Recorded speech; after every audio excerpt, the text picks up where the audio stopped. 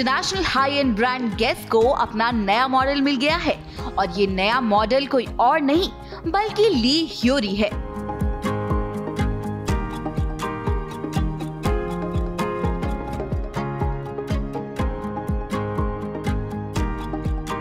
On March 28th, Guess unveiled its latest campaign, Timeless Denim, with the brand's new model, Lee Hyori.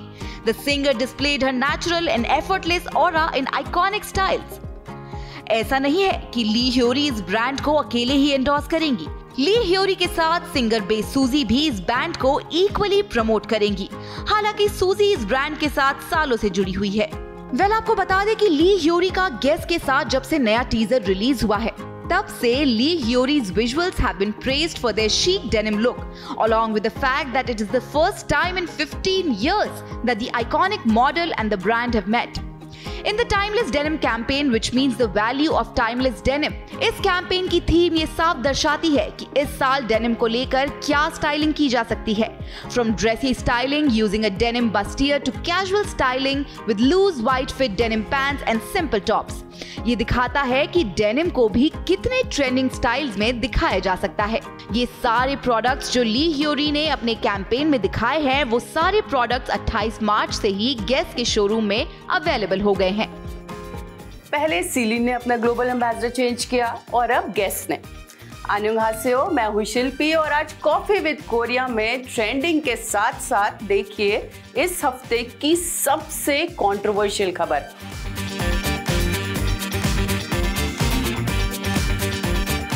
Well रूजून Yol और हांसो ही की love story शुरू होते ही controversy में फंस गई। अभी तो दोनों हवाई में डेट करते हुए पाए गए थे। उसके बाद ऐसा क्या हुआ कि हांसो ही ने एक लेटर लिखकर रूजून योल की एक्स गर्लफ्रेंड को लताड़ लगा दी। जानते हैं उसकी एक्स गर्लफ्रेंड कौन है? हायरी और ये सब कुछ हुआ सोशल मीडिया पर।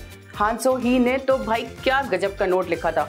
आप देखेंगे तो आप शॉक में आ जाएँगे और आपको हँसी भी आएगी। तो क्यों ना ये खबर देखिए?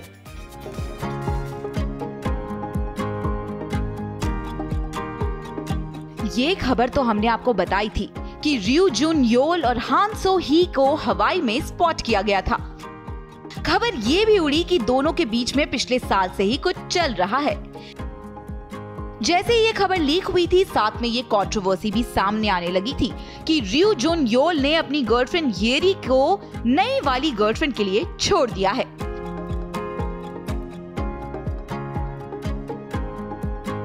हालात ये हो गए हैं कि लोगों ने हान सोही को इनके ब्रेकअप के लिए ब्लेम करना शुरू कर दिया है। लेकिन अब पानी सर के ऊपर से निकल गया है। तो हान सोही ने सोशल मीडिया पर एक लंबा सा नोट लिखकर येरी को खूब लताड़ लगाई। उन्होंने अपने लेटर में साफ़ कहा कि जब येरी का ब्रेकअप रियू जुन योल से पहले ही हो गया था तो अब इस मसले को वो क्यों हवा दे रही है? हान सोही ने अपने लेटर में लिखा कि I can't stand these fake allegations any longer I chase my happiness and now I am here साथ ही हान सोही ने अपनी चिट्ठी के ज़रिए ये भी बताने की कोशिश की कि जब उन दोनों का ब्रेकअप हुआ तो हान सोही रियो जुन योल को जानती तक नहीं थी। The exact date that we met was November 2023 यही नहीं, हान सोही इस बात से भी बेहद गुस्से में है कि जिस एक कॉमन इंसान की वजह से इतना बवाल हो रहा है, यानी कि रियू जुन योल, उसने भी अभी तक सामने आकर कोई क्लैरिफिकेशन नहीं दिया है। कम से कम रियू जुन योल सामने आकर पूरे मामले को सुलझा सकते थे और पब्लिकली ये बता सकते थे। उनका और येरी का ब्रेकअप कब हुआ? हान सोही ने लिखा कि I am frustrated that a person directly involve in this is staying silent This means that I might be writing this, having been fooled by his lies and that he did leave you for me. हालाँकि हान सोही ने बाद में अपने post delete कर दिए, पर तब तक ये पोस्ट वायरल हो चुकी थी। उसके बाद से ही हान सोही के फैंस उनके सपोर्ट में उतर आए। Fans asked by Han Sohee was receiving hate by alleging that all she did was date a man only to be labelled a home wrecker and be attack by the fans for her boyfriend's ex Ryu Junyeol और हायरी के breakup के चक्कर में बेचारी हांसो ही फंस गई। वैसे मुझे लगता है इसमें गलती रूजू नियोल की ही है। कम से कम उनको तो सामने आना चाहिए था और क्लैरिफिकेशन देना चाहिए था कि भाई, ये जो सब कुछ हो रहा है, ये हो क्यों रहा है? ये इसलिए हो रहा है क्योंकि दोनों ने अभी तक अपने ब्रेकअप का रीज़न नहीं बताया ब्रेकअप कब हुआ, कैसे हुआ, ये भी नहीं बताया। अब इसी बात को लेकर जो सोशल मीडिया पर सारा बवाल चल रहा है, उससे हांसो ही काफ़ी नाराज़ हैं। ये तो वही बात हो गई कि the apple of one's eye suddenly became the rotten apple मज़ेदार बताया ना मैंने आपको। वैसे एप्पल से याद आया, क्या आप जानते हैं एप्पल को कोरियन लैंग्वेज में क्या कहते हैं? सोचिए सोचिए थोड़ा सा दिमाग लगाइए। बहुत सारे के ड्रामा में आपने ये सब सुना होगा बट शायद अभी आपको याद नहीं आ रहा है। पर मैं आपको बताती हूँ कि एप्पल को कोरियन लैंग्वेज में बोलते हैं सागवा।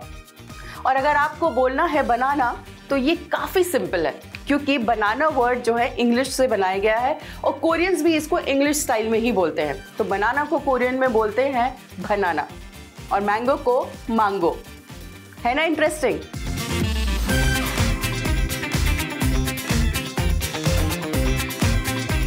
नेटफ्लिक्स पर एक ड्रामा आजकल काफ़ी चल रहा है। नाम है क्वीन ऑफ़ टीयर्स शो में मुख्य किरदार में दिख रहे हैं किम सो ह्यून जिनको आपने it's okay to not be okay में भी देखा होगा।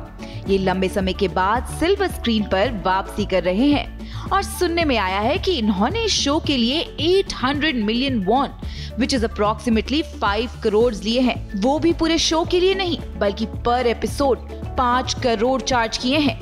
हालाँकि उनकी एजेंसी ने इस खबर से इनकार किया है और कहा है कि ये सब अफवाह है। The initial rumors originated from a report by the Korean news outlet News Sen, which claimed that a multiple production company representatives had confirmed Kim So Yoon's high fee. और इस रिपोर्ट के मुताबिक एक्टर ने पूरे 16 episode के लिए 80 crore charge किए हैं आपको बता दें कि इस पूरे शो क्वीन ऑफ़ टीयर्स का टोटल बजट 250 करोड़ था which means Kim Soo Hyun's fee alone would have cost the production team almost a third of the total budget ये खबर कितनी सच है और कितनी नहीं ये तो किम सो यून की एजेंसी ही बता सकती है और एक और रिपोर्ट के मुताबिक किम सो यून को उनकी previous series one ordinary day के लिए कुल 18 करोड़ रुपए दिए गए However, the reports of his exorbitant fee in The Queen of Tears have now been dismissed by its production team. हालाँकि उन्होंने एक्चुअल अमाउंट तो नहीं बताया पर हाँ ये ज़रूर हिंट दिया है कि कोरियन स्टैंडर्ड के हिसाब से एक्टर की फ़ीस 1.2 टू 1.3 टाइम्स इंक्रीज किया गया है। खैर फ़ीस इन्होंने चाहे जितनी भी चार्ज की हो, लेकिन सच्चाई तो ये है कि मार्च में रिलीज़ हुई सीरीज़ उन सीरीज़ का हिस्सा बन गई है, जिसने शुरुआत में खूब टीआरपी बटोरी, लोगों को मज़ा भी आया। लेकिन जैसे जैसे कहानी बढ़ती हुई दिखी, लोगों ने देखना छोड़ दिया। वजह है प्रिडिक्टेबल स्टोरी लाइन अरे wait wait wait wait wait wait मेरा जाने का समय नहीं है। एक मिनट और दे दीजिए। बस आप मुझे आपसे एक मिनट और बात करनी है। मुझे ये बताना है कि भाई, ये आखिरी सीरीज़ नहीं है जिसको मार्च में लोगों ने रिजेक्ट किया है। इस कैटेगरी में द इम्पॉसिबल है doctor slum wedding impossible captivating the king और चिकन नगेट्स भी शामिल है। वैसे अगर आपने चिकन नगेट्स नहीं देखी तो बिल्कुल भी मत देखिएगा। मेरा सजेशन मानिए, महावाहियात फ़िल्म है। भाई, मार्च तो डिसअपॉइंटिंग रहा। अब देखते हैं अप्रैल में कौन कौन सी सीरीज़ आने वाली हैं, जो शायद आपको इंटरटेनिंग लगे। बस, यही बोलना था मुझे आपसे। लेकिन हाँ अगर आप हमारे शो में कुछ और इंटरटेनमेंट चाहते हैं, कुछ ऐसी चीज़ चाहते हैं, जो कि हम, आप चाहते हैं कि हम उसे डिस्कस करें, कुछ ऐसे टॉपिक जो हम इसमें उठाएँ तो आप हमें कमेंट बॉक्स में ज़रूर लिख के भेजिएगा। आप हमें मैसेज कर सकते हैं, आप हमें इंस्टाग्राम कर सकते हैं डीएम कर सकते हैं, आप हमें कहीं पर भी मैसेज कर सकते हैं। हम सभी मैसेज को पढ़ते हैं और सबके जवाब देते हैं। तो बस, मुझे इतना ही कहना था। अब आप जा सकते हैं, क्योंकि मेरा भी जाने का वक्त आ गया है। Bye bye take care and happy Sunday श्रेष्ठ भारत पर खबरों से जुड़े रहने के लिए चैनल को सब्सक्राइब करें, बेल आइकन दबाएँ और देखते रहें श्रेष्ठ भारत।